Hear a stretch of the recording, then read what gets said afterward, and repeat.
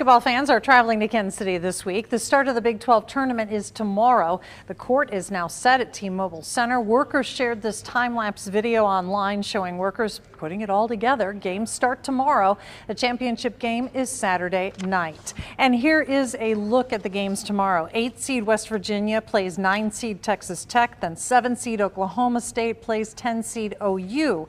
Thursday at 2, number 1 seed KU plays the winner of West Virginia and Texas Tech. Three seed K State plays six seed TCU Thursday night at 8:30.